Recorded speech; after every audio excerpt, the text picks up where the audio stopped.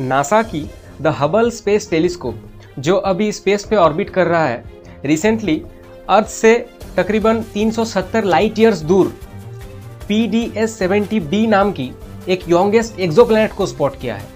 जिनको नहीं पता, मैं उनके लिए बता दूँ कि एक्सोप्लैनेट हमारी सोलर सिस्टम के बाहर पाए जाने वाले प्लैनेट्स को बोलते हैं। और इस प्लैनेट की उम्र 5 मिलियन ईयर्स यानी लगभग 50 लाख साल बताया जा रहा है।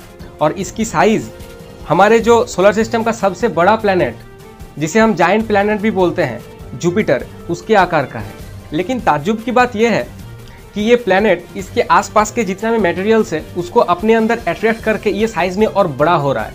और ये अभी कितना बड़ा होगा, ये नासा भी अभी तक नहीं कह पाया है। तो आगे ऐसे इन्फॉर्मेशन के लिए स्टे ट्यून मिलते हैं अगले वीडियो में। तब तक के लिए स्टे होम स्टे सेफ़ जय हिंद।